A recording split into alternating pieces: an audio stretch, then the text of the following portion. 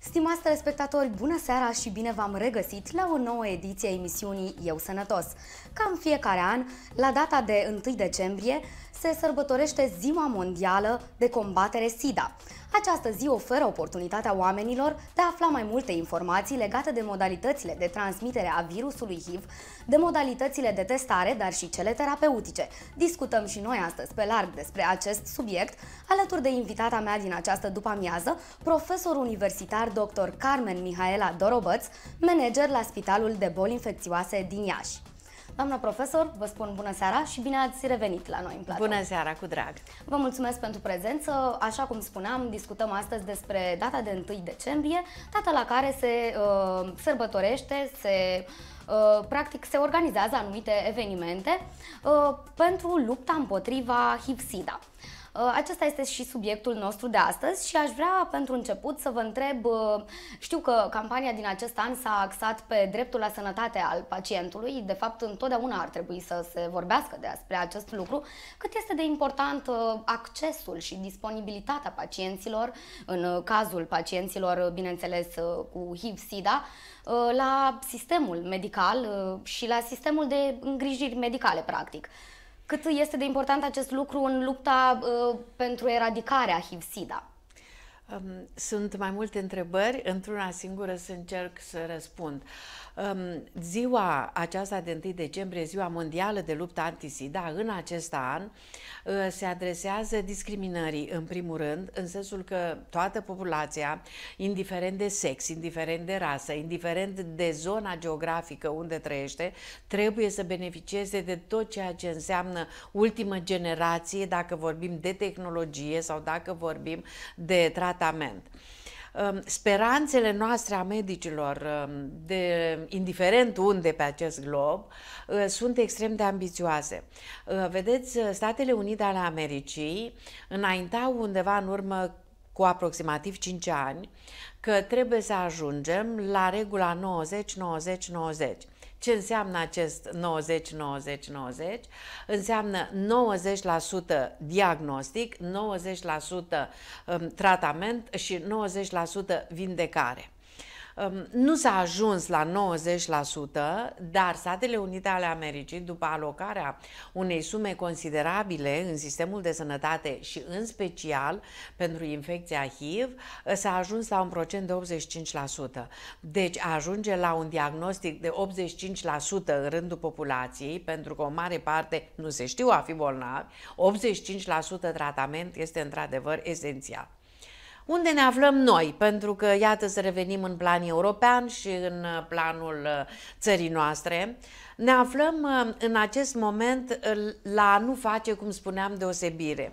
Întreaga populație să beneficieze de ultimele cuceriri tehnologice de diagnostic și tratament. Unde ne mai aflăm? Ne aflăm într-un moment, aș spune, favorabil din punct de vedere al perspectivelor terapeutice. Pentru că, vedeți dumneavoastră, beneficiem de tot ceea ce înseamnă ultimă oră în terapia pentru infecția HIV uh, și ca urmare avem deschideri în ceea ce privește viitorul pacienților noștri copiii pacienților noștri, pentru că trebuie să discutăm și de acest aspect, în ceea ce privește posibilitatea de integrare socială, în ceea ce privește posibilitatea de a se dezvolta pe plan uh, social, pe plan familial, pe plan cultural. Uh, și vedeți dumneavoastră, de aici încolo, dacă altă dată ne rezumam strict la diagnostica și a trata, vedeți dumneavoastră um, activitatea noastră, tărâmul acestei infecții devine deosebit de complex uh, și ca urmare și uh, implicarea noastră um, devine tot cu mai multe aspecte și ne îndeamnă să avem contacte cu tot mai multe discipline. Ne-ați spus despre situația la nivelul țării, dar ce arată cifrele dacă ar fi să discutăm și să facem o statistică la nivelul orașului nostru sau la nivelul zonei Moldovei sau uh, a Spitalului uh, Clinic de Boli Infecțioase? Spitalul Clinic de Boli Infecțioase Iași deține Centrul Regional HIVSIDA. Centrul Regional HIVSIDA înseamnă dispensarizarea tuturor pacienților cu HIV de pe întreg teritoriul Moldovei, deci arealul de nord-est a României. Aceasta înseamnă că ne ocupăm de evaluarea lor din punct de vedere al analizelor de laborator și hotărârea tratamentului. Mă întrebați numeric, dacă la nivelul țării țării sunt peste 10.000 de pacienți, um, pe, pe parcursul anului 2017 discutăm, la nivelul uh, centrului regional Iași, deci discutăm despre Moldova, deci regiunea de nord-est a României, avem uh, în prezent 1530 de pacienți aflați în evidență, centrul regional Iași fiind uh, pe locul 2, um, din nefericire sigur pe locul 2 după București în ceea ce privește numărul de pacienți diagnosticați cu HIV. Um, aș spune eu, um, în proporții egale, fără diferențe semnificative bărbați-femei. Uh, și um, dacă ne gândim ca și vârste, grupele de vârstă cel mai uh, important afectate uh, sunt tinerii și adulții tineri. Calea de transmitere pentru arealul acesta geografic este predominant calea de transmitere heterosexuală. Ce ne puteți spune referitor la accesul la tratament al acestor pacienți, la speranțele terapeutice, așa cum uh, ați uh, început să ne spuneți uh, anterior, și practic în ce constă tratamentul? Am să încerc să creionez cumva modalitatea de supraveghere a acestei infecții uh, și de terapie a acestei infecții la nivelul României. Trebuie să vă spun că um, la nivelul țării noastre există uh, un sistem piramidal de supraveghere a acestei infecții care este foarte bine pus la punct și foarte bine respectat în același timp. Um, forul superior care se ocupă de uh, supravegherea dispensarizării și tratamentului acestor pacienți um, este Institutul Național de Boli Infecțioase, profesor dr. Matei Balci din București. Um, acest uh, institut coordonează activitatea centrelor regionale și există un număr de șapte centre regionale pe teritoriul țării, unul dintre ele fiind Iașul. Um, aceste centre regionale, deci implicit Iașul, are obligația de a um, efectua analizele la intervalele de timp corespunzătoare pentru pacienți și de a hotărâ schema de terapie specifică, după care pacientul merge în județul respectiv uh, și uh, primește acest tratament absolut gratuit, finanțat prin program național de la nivelul Ministerului Sănătății. Uh, ceea ce aș vrea să subliniez este faptul că există um, o rețea electronică de supraveghere uh, care se bucură de tot ceea ce înseamnă confidențialitate pentru acești pacienți, pentru că trebuie să ținem seama poate mai mult decât la alte patologii de acest aspect și care uh, această confidențialitate fiind un drept al pacienților în general. Și în felul acesta, în orice moment, centrul regional poate să-și vizualizeze pacienții aflați în dispensarizare în ceea ce privește evoluția lor, iar datele sunt trimise mai departe la București, astfel încât dacă uh, se cer și într-adevăr de la nivelul Institutului Național din București se cer date către forurile europene și forurile mondiale în ceea ce privește situația acestei infecții uh, în arealul nostru geografic, trebuie să vă spun că aceasta se fac cu ușurință și într-un timp scurt.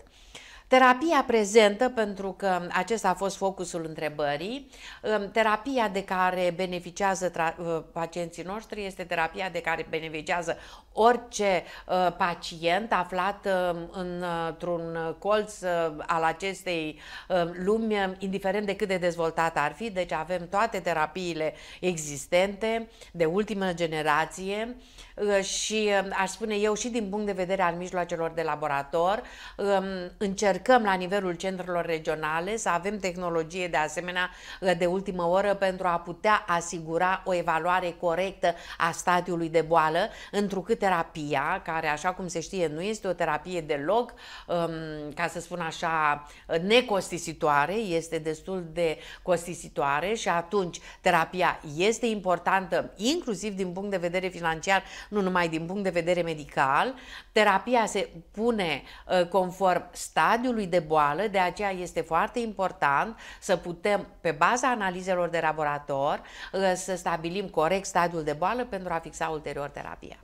Doamna profesor, iată că ați adus în discuție stadiul de boală. Care este diferența între HIV și SIDA? Poate că ne-am grăbit puțin cu discuția și iată am ajuns la speranțele terapeutice. Este bine totuși că ne-ați oferit un prognostic pozitiv, dar haideți să explicăm telespectatorilor acum această diferență dintre infecția HIV și SIDA și de la ce vin aceste prescurtări.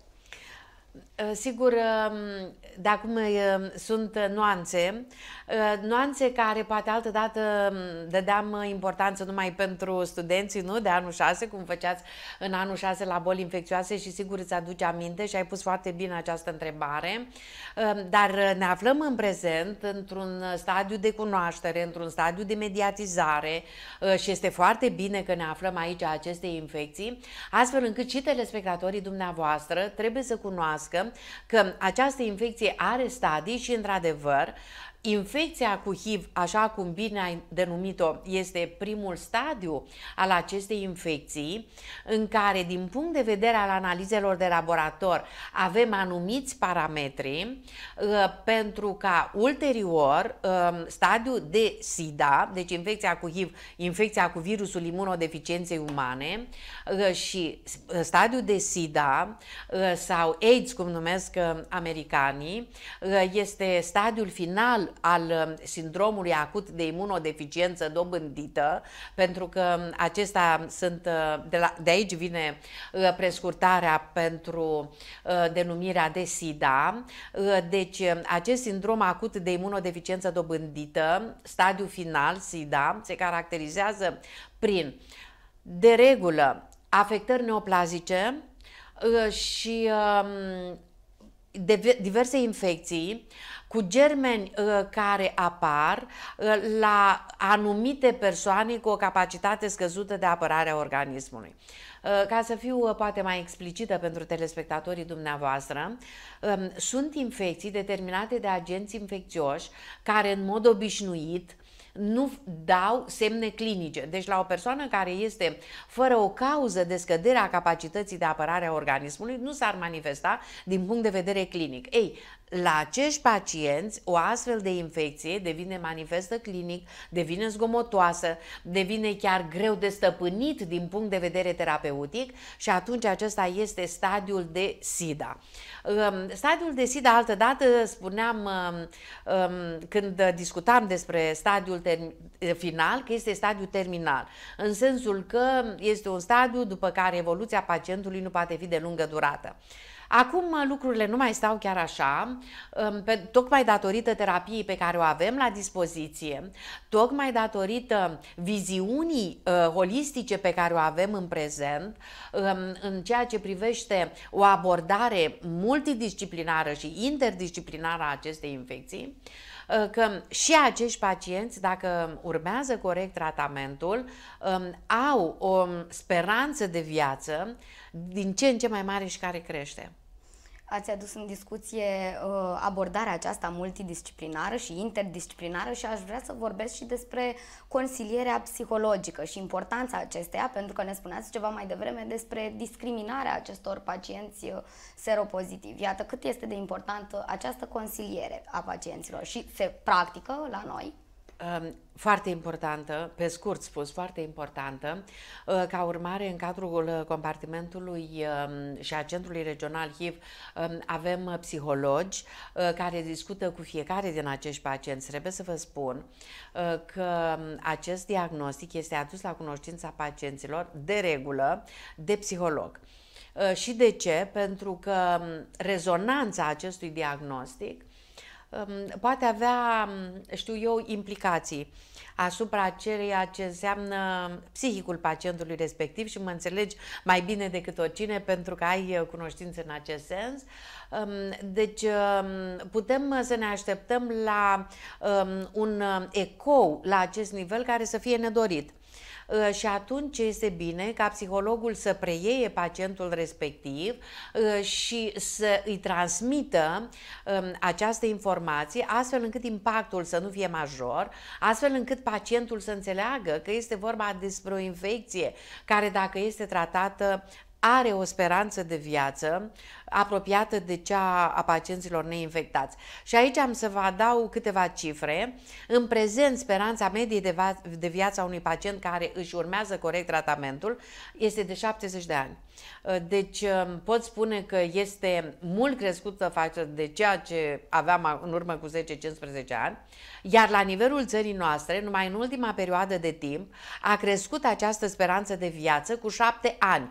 Um, este important această sumă de 7 ani, dar mai important este faptul că ne aflăm la o creștere a speranței de viață perfect egală cu ceea ce se întâmplă în restul teritoriului european. De unde rezultă că mergem în pas european în ceea ce privește grija vis-a-vis -vis de acești pacienți, inclusiv consilierea psihologică. Putem spune că această consiliere psihologică uh, duce direct și la aderența la tratament și uh, să înțeleg că în acest caz aderența la tratament este practic uh, uh, esențială. Esențială. Um, pentru că discutăm despre o infecție cronică. O infecție care trebuie toată viața să-i se dea atenția necesară și uh, în același timp să o tratăm. Uh, ca urmare, aderența, deci, uh, ca să zic așa, um, acea, acel devotament al pacientului vis-a-vis -vis de tratament este esențial. Pentru că la un moment dat, uh, pacienții aceștia care fac uh, tratament, și nu vorbim aici numai de infecția cu HIV, și vorbim de orice înseamnă boală cronică și care, cum este și bolnavul diabetic, cum este și bolnavul hipertensiv, care trebuie să știm că face tratament în o întreagă viață, um, ei și aceștia, la un moment dat, pot obosi cu ghilimelele de rigoare. Um, oboseala aceasta nu este de bun augur Uh, pentru că pacientul spune că mm, nu mai este cazul să ia medicamentele uh, și nu înțelege de ce trebuie să le ia uh, toată viața și atunci imediat psihologul este de ajutor esențial. Um, cu atât mai mult cu cât um, poate an de an, dar dacă nu an de an, la anumite perioade de timp, um, există noi și noi descoperiri în ceea ce privește tratamentul benefic și din ce în ce mai perfecționat a infecției cu HIV. Așa cum se întâmplă și în alte arii de patologie și vorbeam mai înainte de diabet, la fel și în infecția cu HIV, uh, tratamentul beneficiază de cercetări permanent și de noi descoperiri Um, aducând um, în cele din urmă nu numai medicamente performante, dar în același timp medicamente uh, coformulate, adică uh, cum ar fi așa numitele 3 în 1. Um, deci nu mai dăm 3 medicamente pacientului respectiv, ci dăm o pastilă care să aibă toate cele trei medicamente, ceea ce este foarte important, întrucât uh, nu mai dă acea oboseală a pacientului, nu mai ia atât de multe tablete de atâtea ori pe zi, ia o singură tabletă, ceea ce este fantastic. Uh, trebuie să vă spun, chiar azi am uh, văzut o pacientă care a primit un astfel de tratament de ultimă generație, care primește două medicamente medicamente, dar din care unul ia o singură tabletă pe zi. Uh, și uh, trebuie să vă spun că a fost diagnosticată în urmă cu o lună. Uh, și um, acum a venit la primul control, iar um, analizele de laborator uh, au arătat o îmbunătățire fantastică în ceea ce privește capacitatea de apărare a organismului, uh, pentru că aici este problema. Virusul HIV scade capacitatea de apărare a organismului. Și trebuie să vă spun că um, am transmis chiar acestei paciente, am întrebat-o așa puțin zâmbind dacă ia tratamentul și ea uh, extrem de contrariată mi-a răspuns categoric da și um, sigur i-am spus, se vede pentru că analizele erau foarte bune. Iată ce înseamnă să dai nu număr mare de pastile. Cum am spus, am folosit un tratament de ultimă generație, um, fiind și o pacientă tânără care poate la un moment dat își va dori uh, să um, aibă copii. Tocmai vorbeam despre această conștientizare conștientizare, a socializării, a uh, uh, unei perfecte inserții în societate, în ceea ce privește uh, munca, în ceea ce privește statusul pacientului respectiv, din multiple puncte de vedere. Iată, la un moment dat poate își va dori să aibă un copil și noi trebuie să-i asigurăm sănătatea mamei în primul rând. Și din acest punct de vedere este foarte important și realizarea unor campanii de, uh, nu știu, de promovare a informației, ca în așa fel încât oamenii să aibă permanent contact cu această informație legat de modalitățile uh, de transmitere și de tot ceea ce înseamnă practic această boală. Și ne spuneați ceva mai devreme despre stadii, despre diferența între infecția HIV și SIDA. Uh, practic, doamna profesor, care este momentul oportun, dacă îl putem numi așa, de diagnostic? Momentul oportun uh, este cât mai devreme. Deci, cu cât mai devreme punem acest diagnostic, cu atât mai bine pentru pacient și pentru evoluția ulterioară a pacientului. Um, nu întotdeauna lucrurile se petrec așa. Um, debutul bolii um, de multe ori poate fi atipic, în sensul că poate fi un debut cu febră, uh, cu uh, dureri în gât, cu dureri articulare, dureri musculare asemănătoare unei gripe. Uh, și trece și o perioadă de timp nici nu mai avem niciun fel de simptom și atunci este destul de greu pacientul să înțeleagă cum nu am avut nicio problemă și am acest diagnostic. Este o infecție ca multe altele de altfel, Um, o infecție care, iată, ne poate înșela. Dacă ochiul nu este avizat, um, există momente când putem trece uh, peste acest diagnostic diagnostic. Și spun momente când putem trece peste acest diagnostic pentru că dacă pacientul are febră uh, și să spunem o mărire de volum a ganglionilor limfatici și se prezintă la un medic, um, se poate foarte bine pe baza unor analize de laborator, de rutină, aș spune, să se pună un diagnostic uh, care să aducă undeva uh, un prim plan, o adenoviroză, de exemplu, dar fără să ne gândim la infecția cu HIV. Uh, pentru a pune diagnosticul de această infecție cu HIV sau ne îndrepta cu gândul uh, spre o astfel de analiză pentru a pune acest diagnostic, trebuie puțin să avem răbdare pe cât posibil și ceva timp uh, să discutăm cu pacientul momentul respectiv, să vedem care a fost contextul în care a trăit în ultima vreme, în special comportamentul sexual care a avut loc în ultimii ani, aș putea spune. Și în felul acesta, din discuție și din aproape în aproape, um, ca urmare a datelor pe care le obținem în urma acestei convorbiri și acestui istoric, putem uh, cumva să intuim că ar putea fi vorba despre această infecție și să recomandăm o analiză corectă. Doamna profesor, uh, luăm și o scurtă pauză de publicitate și revenim imediat pentru a afla mai multe informații, iată, despre modalitățile de transmitere uh, și despre ce simptome prezintă acești pacienți.